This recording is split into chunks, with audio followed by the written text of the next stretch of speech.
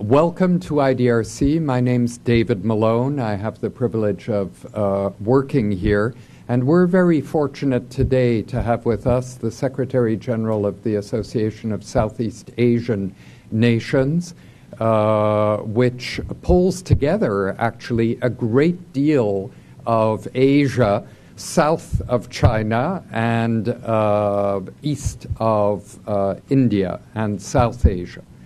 Uh, in an op ed article that uh, Tommy Koh, the great uh, Singaporean uh, diplomat, and I wrote a couple of months ago in the Globe and Mail, we argued that for Canadians interested in Asia, it's not enough to be interested in China and India because actually the connecting tissue between them uh, is uh, the ASEAN region.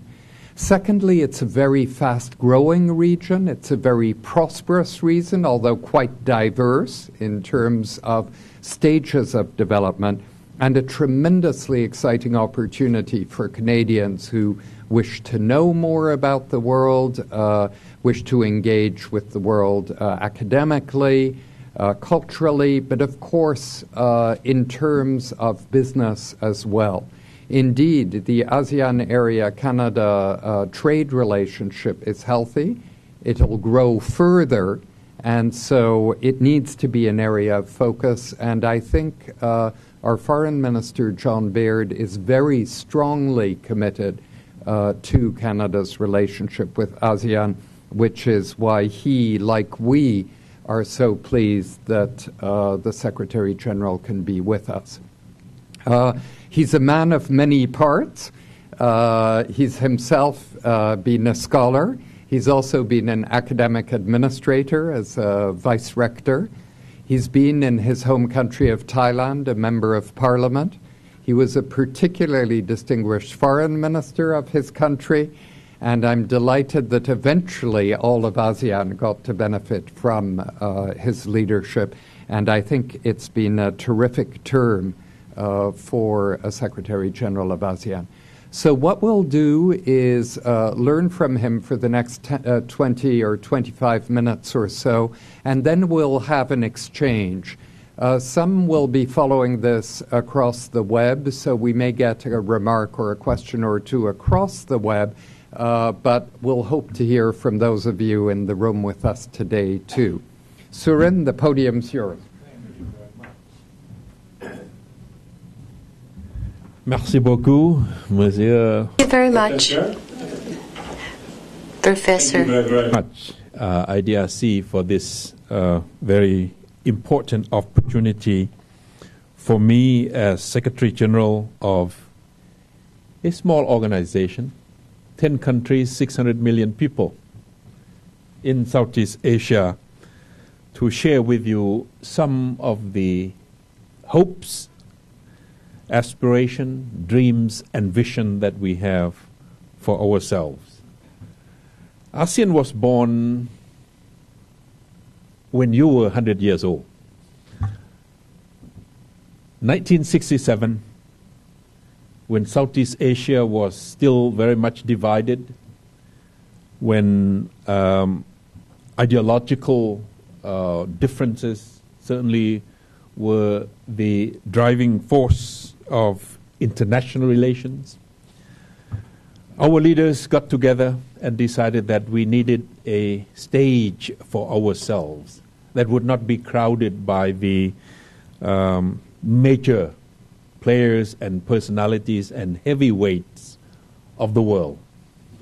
People who have gone to the Afro Asia meeting in Bandung, Indonesia, people like Nasser, like Nehru, like Tito, like Nkrumah, like Zhou Enlai.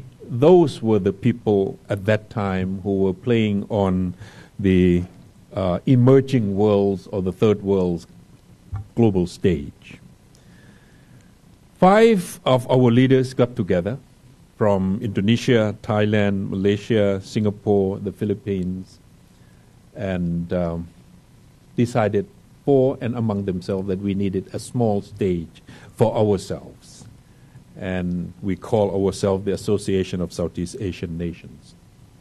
Since then, this particular organization has given the region the only one official region wide forum for security issues, for strategic political issues, and now more and more to evolve region wide architecture for economic cooperation. I'm sorry, I'm more familiar with the, some of the scholarship down south of your border. I, I couldn't quote anybody except David Malone. But uh, it was Henry Kissinger who observed at the end of last century that as far as innovation and economic progress, economic dynamism are concerned, East Asia is very much 21st century Europe.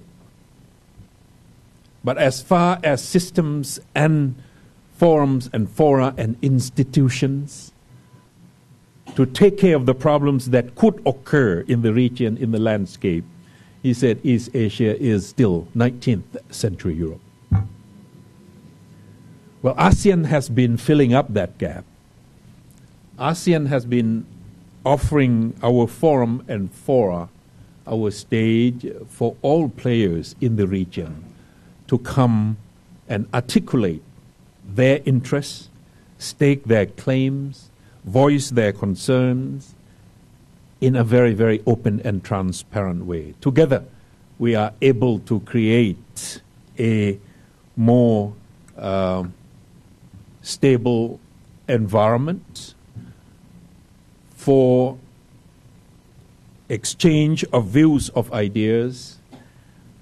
Everybody feels comfortable we are a threat to none, we accommodate all. That's how we have been playing this, what we call an architecture building for cooperation in East Asia with ASEAN in the middle. We began differently from the European Union. European Union began with big major players on functional issues. We began with smaller group of countries wanting a stage for ourselves, that we would not be crowded by global personalities, and we have been able to bring in countries like Canada, like the US, like Russia, like China, Japan, Korea, Australia, the European Union, through what we call the dialogue partnership. The dual purpose of ASEAN, without full articulation of it, from the very beginning economic progress and democratization.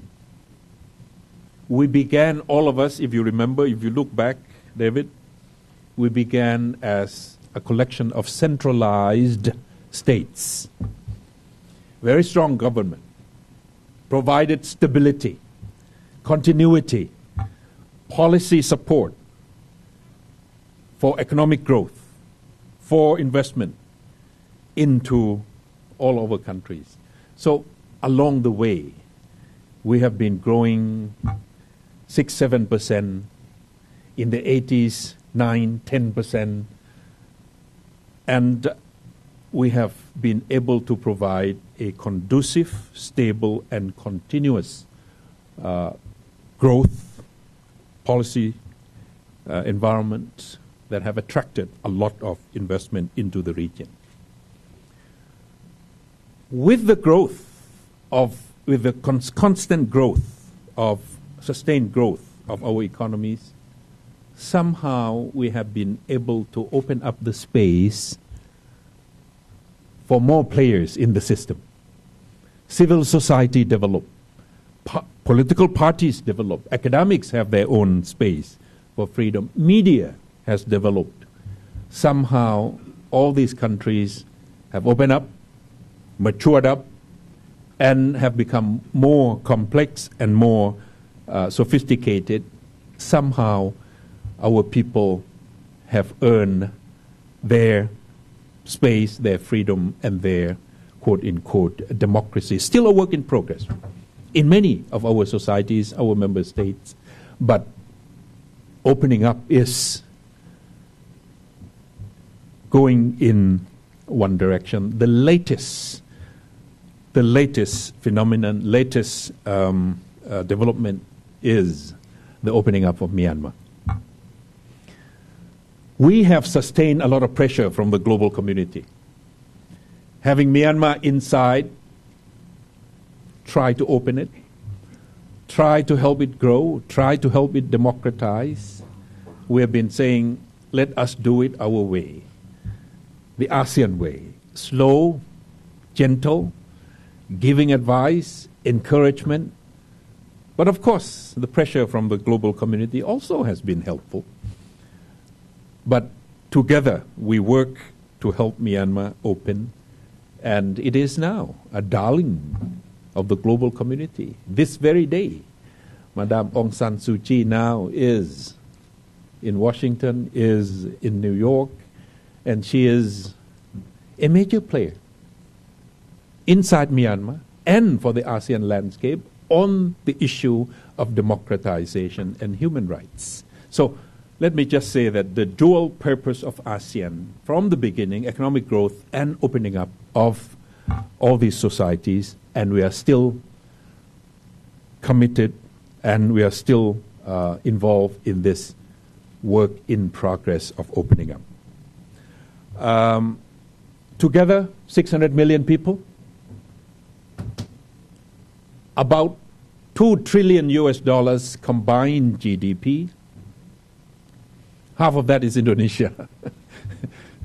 the rest are small boutique economies, but together 2, 2 trillion. But we trade with the world about 2.4 trillion US dollars, and that's why it has become very attractive to the global community. Mr. Obama said if the US is going to get out of our crisis, we have to export more, we have to sell more. And we look around where are the consumers and where are the markets? It's you in East Asia, you in the middle of the growth center of East Asia. So, middle class is growing, purchasing power is growing, and I think we are looking for not just physical growth, not just material growth, the middle class in ASEAN is looking for quality of life, is looking for better education for their children, and that's one of the areas that Canada can play a very, very significant role. I have just discussed with Mr. Ed Fast, your international trade minister, this morning, that other countries look at their education as a commodity for export. Look at their education as service for export. Look at education as an area that would certainly bring a lot of foreign exchange. We certainly would like to see Canada being active in that particular area because the middle class is hungry for better quality of education for their children, either here or through some kind of cooperation and associations with universities in our region, in our landscape. Many American universities are doing that in Singapore. Australia is doing it in Malaysia, and uh, European uh, countries are doing it in other parts of Southeast Asia. Canada certainly has the brand name, has the recognition, has the goodwill and your multiculturalism is the way of the world, is the way of a globalized world. You don't only talk about it, you live it. You don't only articulate it, but you experience it every day. I come in and out of this country and feel that multiculturalism is a way of life here. It's not a slogan. It's not a a, an advertisement, it's not a tagline. And parents around the world certainly appreciate that, particularly parents from Southeast Asia, parents from East Asia. So, rising middle class, expanding middle class, rising purchasing power is a field of investment that we certainly would like to see more Canadian expertise, more Canadian innovation, more Canadian business coming to Southeast Asia and take advantage of that growing landscape. Canada has been our dialogue partner for a long, long time. This is the 35th anniversary of ASEAN Canada dialogue partnership. In fact, my trip is part of that celebration. Thank you very much. But there's tremendous opportunity open into the future. And it's only our own imagination and our own ingenuity that could put the limits on the growth of cooperation in the future. In the field of energy, in the field of uh, technology, particularly green and clean technology, in the field of innovation, in the field of agriculture, in the field of food security, in the field of energy security. These areas are areas of potential growth of cooperation and, uh, and, and, relations between ASEAN and, um, and Canada. There are new architectures growing up in East Asia, and many of them are quite dynamic and exciting. One is called the East Asia Summit, and Canada is very much interested in that. East Asia Summit began in 2005, again, going back to the observation of Henry Kissinger. No institutions, no systems, no process that could take care of any potential problems. There are many fault lines, there are many flashpoints in East Asia, and you are reading about it. China and Japan, China and some of the countries in Southeast Asia, Japan and Korea, China and India. One province of India is still not recognized by China as belonging to, to India. So flashpoints and fault lines are everywhere. ASEAN is trying to build processes, institutions, and systems, forum and fora, that these issues could be addressed. East Asia Summit is one of that at the very highest level. It was born in 2005. 10 ASEAN countries plus six dialogue partners in the region China, Japan, Korea, India, Australia, New Zealand. ASEAN plus six, we call it. The European Union would like to get in to that head table.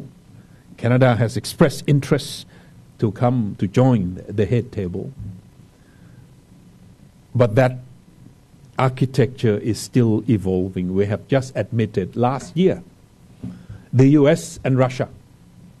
And we would like to consolidate. We would like to make it work. We would like to make it effective. We have taken note of uh, Canada's interest in joining, and uh, Canada application is on active file. Let us put it that way. But certainly, uh, you know, we would like to see an intensification of Canada's presence, Canada's engagement, Canada's contribution into the region uh, to the full and let the momentum grow, and certainly IDRC can help. CIDA has been working actively at the level of the grassroots of the people on the issues of non-traditional uh, issues, non-traditional threats, non-traditional issues of uh, conflicts, of uh, uh, the soft issues of building a more livable community, issue of human security, issue of uh, poverty, issue of gender equality, issue of human rights, issue of governance, issue of the rule of law. These are the areas that um, CIDA, IDRC have been active, actively engaged with us. The latest instrument that we have established together is called the ASEAN Canada Business Council. ACBC. This forum, this platform is going to serve as a springboard for further penetration of Canada's business into the ASEAN economies, the 10 ASEAN economies. And through us, because we have FTAs with six countries India, Australia, New Zealand, China, Japan, Korea. And we are evolving these FTAs into one. And it's going to be the largest free trade area when and if we can achieve it. It will be 30% of global GDP, it will be 30% of global trade, it will be almost 50% of global population. We have the building blocks for it. You are interested in TPP. The US is promoting TPP. Some of the ASEAN member states are interested in TPP, but this ASEAN Regional Comprehensive Economic Partnership, RCEP, A-R-C-E-P, acronym, RCEP, already has the building blocks, already having momentum among and between ourselves. These are the areas, these are the uh, issues that Canadian business, Canadian ASEAN Business Council can certainly promote, can bring more of the best and the excellent of Canadian products, both in goods and in services to the region. Well, center of growth, center of gravity, fulcrum of emerging regional architectures, new growth area, and uh, the landscape is welcoming the landscape, landscape is anticipating more engagement from Canada. And I think the last few years, your government has been doing a very, very active engagement with us. We welcome that, and certainly we hope the people, the business of Canada will follow the lead, come and benefit from the landscape that we have built. With your help, with your support from the beginning for the last 35 years, we were 10 when you became our dialogue partner. Now we are 45. As I said, we were born when you were celebrating your centennial. Now we have traveled together for the past 45 years, 35 years, particularly with, between ASEAN and Canada. We have done a lot together for the benefit of the people both here and in Southeast Asia.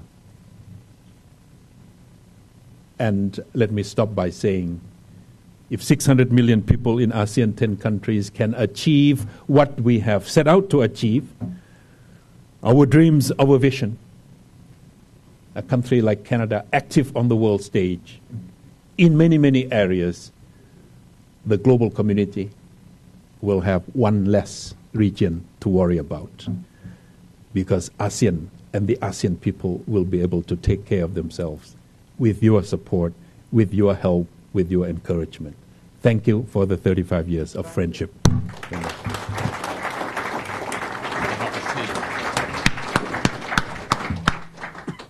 Great. Uh, well, the Secretary General has uh, kindly agreed to stay, as I mentioned, to uh, respond to any questions you have, any comments you have. Um, just to get the ball rolling on, uh, and I should mention that there is a microphone here in the room, so if you have uh, a comment or a question, please go to that microphone so that the translators can pick up uh, and translate your question or your uh, remark. But just to kick off, uh, Surin, you were mentioning that there are significant opportunities for Canada in higher education in ASEAN. Uh, I think that's true, and we've benefited over the years from uh, many foreign students coming to Canada. In some ways, I'm more concerned about Canadians uh, not becoming detached from the rest of the world.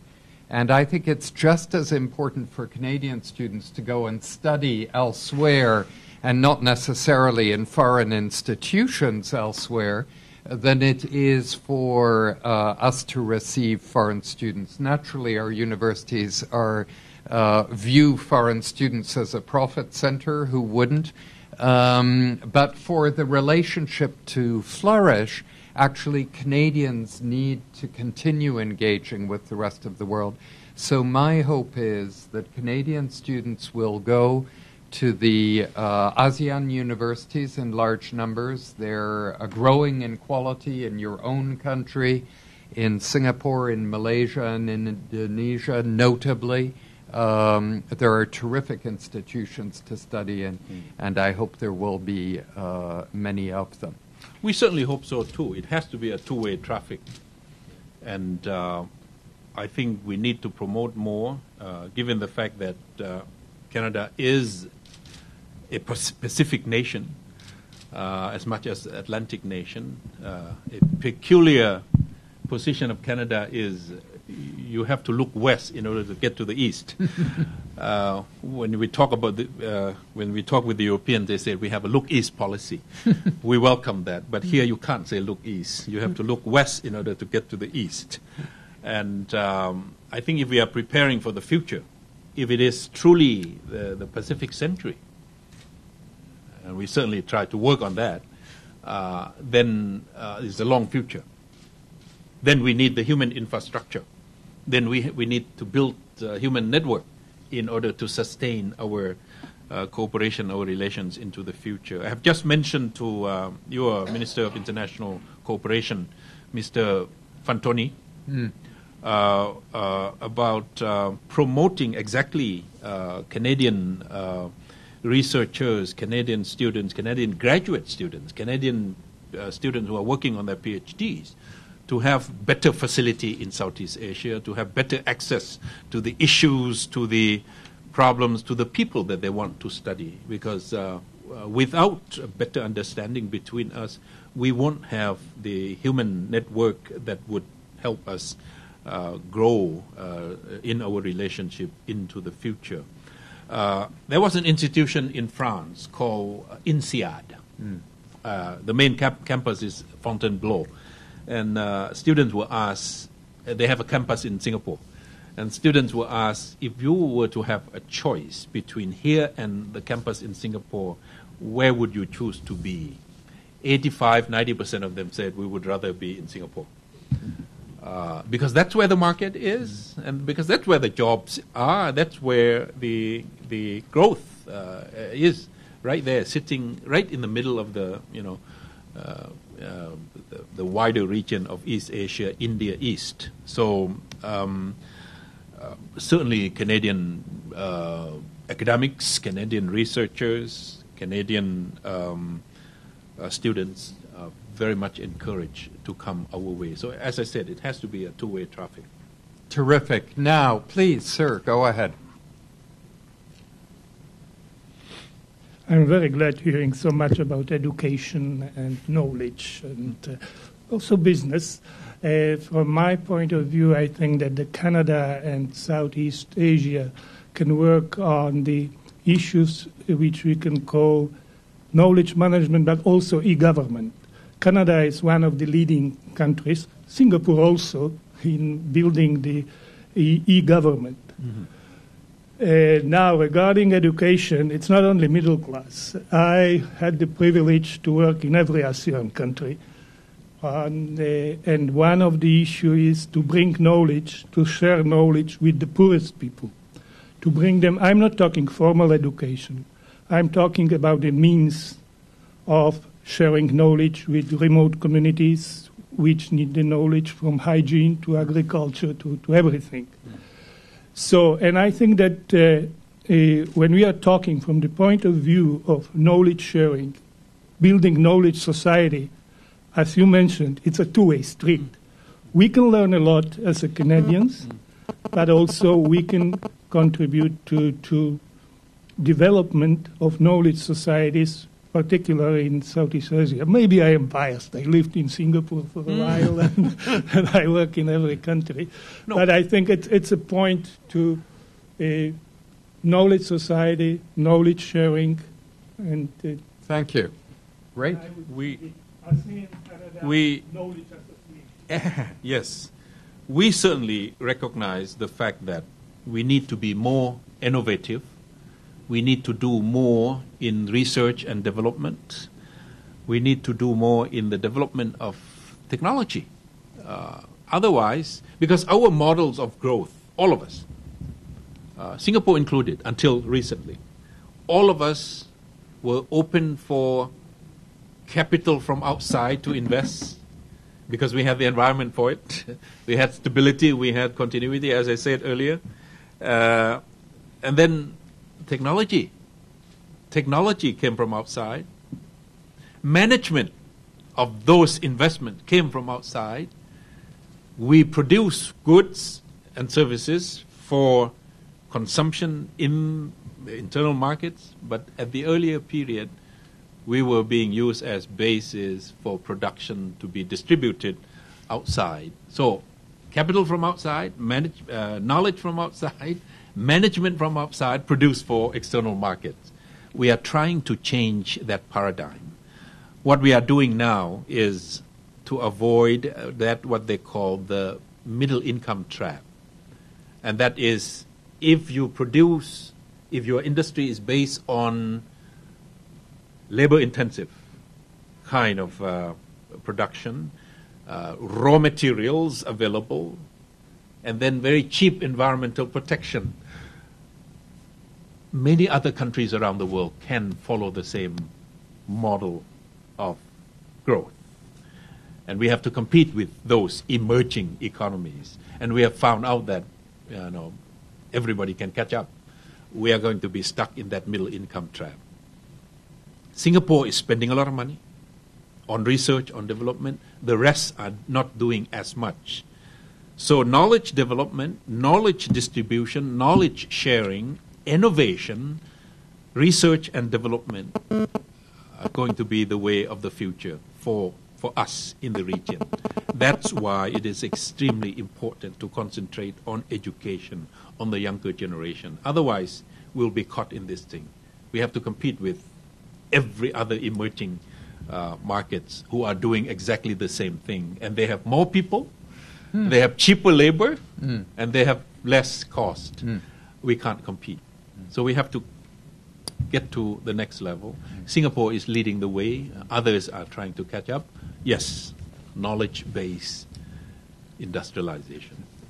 Please, sir, go ahead. สวัสดีครับสวัสดีครับอ้าว Um, it seems that you may have answered uh, my question already, but um, I'm a scientist at the Ottawa Hospital, and my passion is in um, medical research mm-hmm. and education. My question is what are ASEAN's plans and visions for increasing the medical and scientific research capacity, and not only the research capacity, but um, the human resources that the ASEAN nations need in order to become more of an innovation-based society? And so, um, Well- that's my question. Thank you. Yes, uh, we are doing quite well for medical tourism. you walk into our hospitals, they look like five star hotels.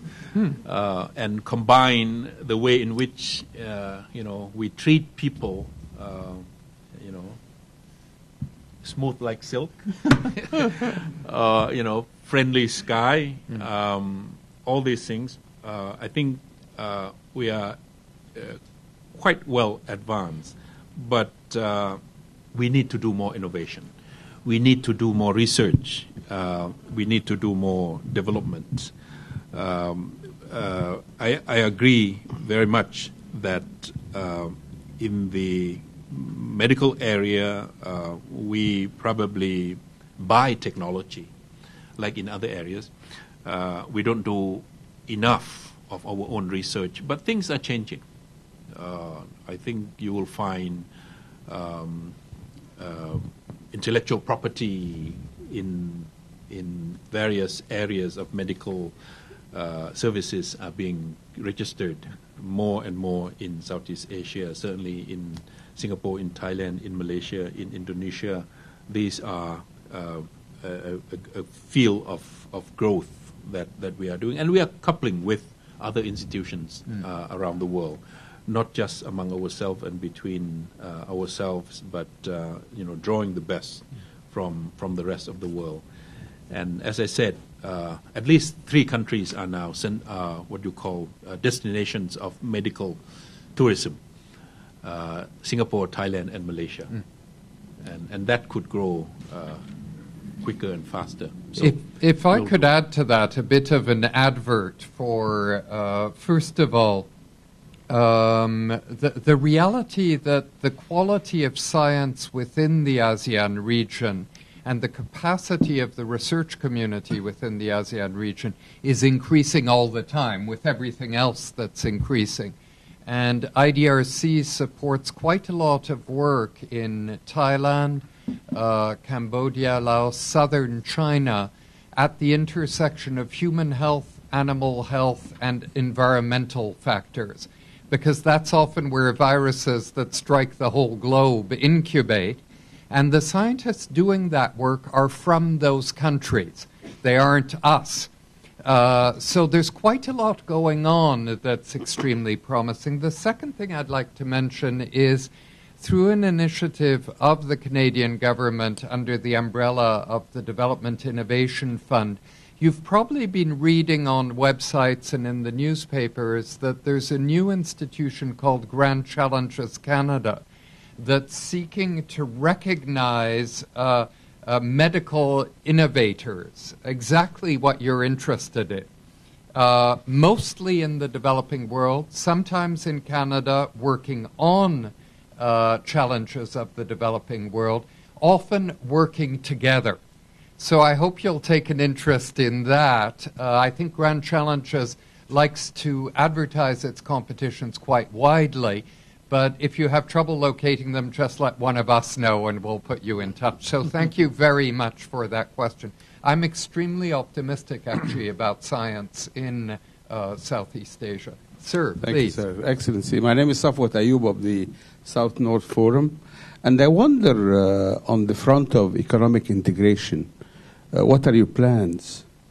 Are there any achievements? Are there any uh, indicators. indica- uh, economic integration Yeah. between the ASEAN countries? Yes, that's one important pillar and it's probably uh, most uh, appealing to the people because they could feel it themselves. Uh, more products, more services that they can access to, and um, better quality uh, of, the, of these products. So, uh, free, free flow of goods, of services, one production base. It has to be equitable among us, 600 million, not, you know, the rich are getting richer and the poor are getting poorer. The gap has to be bridged, and then uh, the other the other objective is to be able to be competitive with the rest of the world, be seamlessly integrated into the global marketplace, and that's what what we are doing. Um, you can you can look at some of the figures that would be indicative to to this effort. FDI uh, uh, proportionately is higher than the rest of the world going into uh, the ASEAN countries. Per capita income is bigger than going into China and then going into India uh, because it is growing and it is opening up and it's um, it's uh, you know and the best part of, of the figure of about 90 billion US dollars in 2011 70% going into the service sector. Meaning the people and the consumers would like a quality of life and service would like better education for their children, would like better health care, would like better telecommunication, would like better logistics. 70% of FDI is about almost um, 100 uh, going into the service sector. I, I guess it means that the region is teeming with growing and uh, uh, middle class and, and rising purchasing power. Uh, and those are the areas that we have to concentrate ourselves in, and it's extremely appealing to the people because it talks about the pockets, it talks about the, the choices on the supermarket shelves, and the price and the quality. Uh, but we are working on other things too political insecurity and socio cultural, on uh, trying to create a, den- a new identity for our people, the second identity being Singaporean and ASEAN, being Indonesian and ASEAN, being Filipino and ASEAN. Uh, that's what we are trying to do. When we, when we say this to the Europeans, we like to do what you have achieved. And they said, um, much less than you think we, we have achieved. and that Thank is you. The second that- choice. Uh, I'm afraid there's Yeah. somebody else behind you. We yeah, need but to in- get within the question, you- would that mean Just briefly, yeah, please. lead to a common market one day? Well, let's say an integrated one production base and uh, one uh, combined uh, uh, integrated market, but we are not thinking about one currency. No. European Union has not given us good uh, example. Please. yeah. Hi, thank you for thank you for the talk and thank you for coming here. Um, personally, I would like to recommend studying in Southeast Asia. I had a wonderful time in Singapore. Great. Uh, my question was originally going to be about economic integration, but that's been taken. So I'll ask you instead about institutional integration between ASEAN countries. So I was just wondering how you saw the future of ASEAN institutional integration and the future of the ASEAN Secretariat as an organization itself. Great, and perhaps we can take the point of the gentleman behind you, who I think Together. also, and, and then we'll close out with you both. Uh, thank you for speaking today. I'll second the comments about studies in Southeast Asia. I studied at Thammasat and uh, I very much enjoyed it. uh, what did you study? Sorry. uh, Kasetsart. Oh, really? Economics. Okay, great. Uh, I just would like to know if you'd be able to comment more on Canada's strengths and weaknesses in terms of engaging Myanmar economically. Uh, that's kind of the zeitgeist at the moment in terms of uh, opportunities and uh, in Southeast Asia. I'm wondering uh, what, uh, aside education, what would Canada have to leverage in terms of increasing its relations with Myanmar? All right. And specifically, within that, uh, Australia has made a big effort for uh, Australian citizens to learn Southeast Asian languages and Asian languages in general, especially at universities like the ANU, for example. I'm wondering if uh, you see that as being important to Canada, to Canadians, considering, for example, that the working language for ASEAN uh, and the working language for this second nationality that you're talking about, um, ASEAN citizenship, is English. So, for example, in engaging a country like Myanmar, would it be important that uh, young Canadians who are interested in doing that learn uh, Myanmar in the first place or not? Kapung Great. Thank you very much. Thank you. Well, over to you. the the first question, institutional uh, development of ASEAN, we have to try to strike the balance between um, uh, trying to integrate together and become uh, a, a, a, a one uh, group unit of of countries uh, similar to what the European Union has achieved. But I have always been saying that European Union is our inspiration, not our model, because of the diversity among us. Tremendous diversity. I mean, a monarchy is there. Well, two or three monarchies, but certainly an active monarchy involved in um, in um, in even management uh, uh, of the country is still there. Uh, two or three communist countries, two communist countries, uh, one or two very strong one-party system, pretty much, and uh, a couple of noisy democracies uh, like Thailand, Indonesia, and the Philippines. Uh, very open, very participatory, very, very active. Diversity in governance, diversity in cultures, in religion, in history would not allow us to go into the union kind of uh, evolution. Uh, uh, we understand that.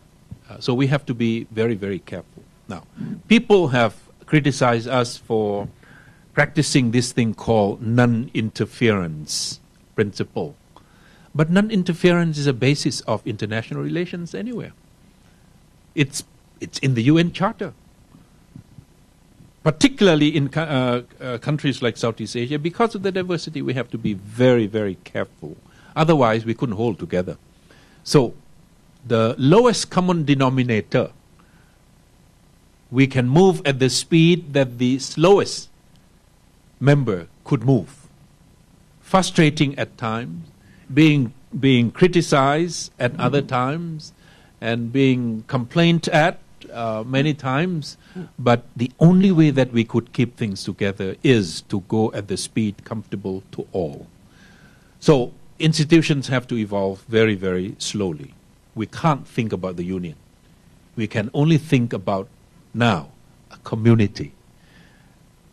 We have been association for a long, long time. ASEAN is the association of Southeast Asian nations. Now we want to go into the community, which means we can be building more common uh, uh, uh, future, common approaches to things, common, uh, uh, you know, closer coordination on various issues, but can't think about the union until way, way into the future. Therefore, one currency is not on the table.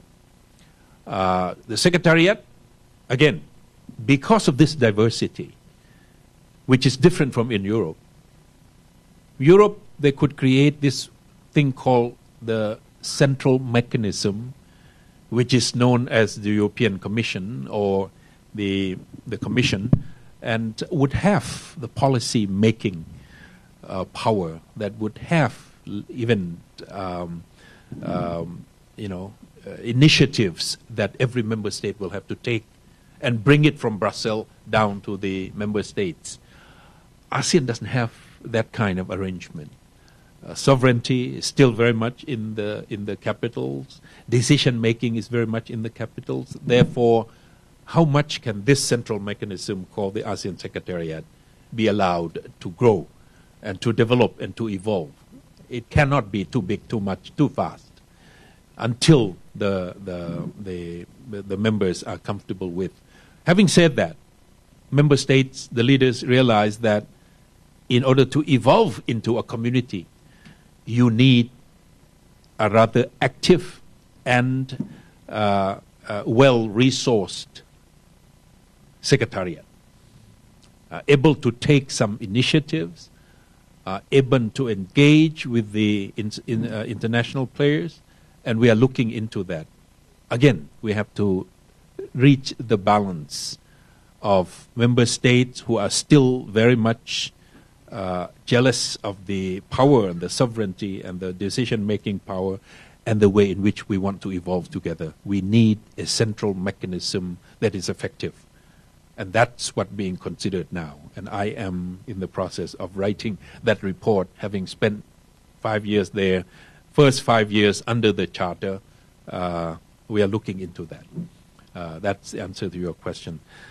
The, the next question was about um, from student Thammasat. Sorry. Oh, oh, of yeah. Canada, Canada, yeah. yeah. And language. You know, Canada, yes. Canada has the brand name. Canada has the good goodwill. Canada have that stamp of excellence in so many things. But Canada markets itself less than others who have less excellent things. Uh, your education, for example, uh, your technology, uh, the every time I talk about Canada, I talk about multiculturalism that you have. You have been able to evolve and have been able to establish. Well, that is the way of the future. That's one thing that I think the rest of the world uh, would certainly want to know how how you know how you can uh, construct such a system through trial and error, of course, through a lot of challenges, but eventually uh, it's it's a society that is very much living the the multiculturalism concept, pluralism concept, and that is uh, the way the way of the global community into the future. I think you need to do more, um, uh, and and and and you know try to to show and try to convey such a message with confidence. And I think uh, this government is uh, you know, beginning to do a sustained effort uh, in that direction. Well, English is the working language of ASEAN, yes. But by the time the community comes into being, half of ASEAN will be speaking Malay. half of the 600 million will be speaking Malay. Well, 245 is already in Indonesia. Mm. Uh, Malaysia, southern Thailand, southern Philippines, in Cambodia, and uh, Brunei. And, you know, people in Singapore speak Malay too. Mm. You realize that the national anthem of Singapore is still in Malay. they have not changed. Mm. Yep, the, the national anthem of Singapore is in Malay, in the Malay language. So, um, Malay language is going to uh, language of facility in the region, but uh, we know uh, uh that uh, you know to be pra- pragmatic about it, we need one central language that is communicable for our people, our trader, our business, our um, people in the area of technology, education, diplomacy, and trade, and that is English. English is the working language of ASEAN. It's in the charter. If you speak English, and I assume you do, uh, you know you, you can do well in the in the region. Yes, uh, Canada and and and Myanmar. Um, I think all of us could claim credit for the opening up of Myanmar. Um, Canada has been tough on ASEAN on the issue of Myanmar. Uh, many of the activities as partner, as dialogue partner, we could not uh, uh, uh, develop fully because of the issue of Myanmar or the sanction on Myanmar in the past. And it's not only Canada, Australia is the same, New Zealand is the same, uh, the U.S. and the European Union. They're all the, all the same. So, but together we have been able to help Myanmar grow out of its own shadow of the past. And uh, right now it's opening up, and I, I think uh, uh, its opportunities and potentiality are very much there. Um, oil and gas, uh, minerals, uh, education, uh, innovation, certainly you can bring to Myanmar close to 60 million people is a big market, large country with tremendous resources, strategically located between the two giants of emerging markets, giants of East Asia. So um, I think uh, you, have sent ministers there. Uh, that is a very, very uh, good development. And um, uh, I would think there will be a lot of opportunities. And I know that your business community is very much waiting to go in uh, uh, when when things are in place. They have just come up with foreign investment uh, law, uh, and they are they are doing it very quick.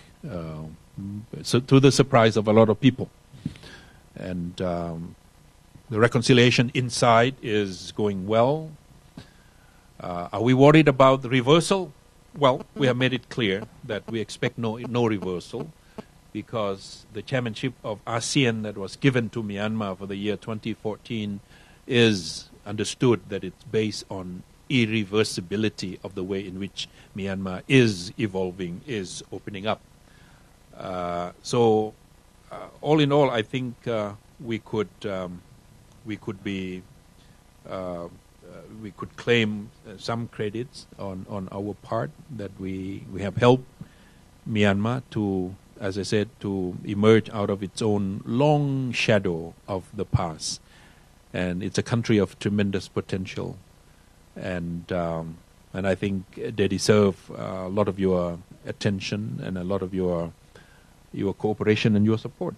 Uh, CIDA and, and IDRC and all other areas education tremendously. They need help, and there will be opportunities for, for Canada.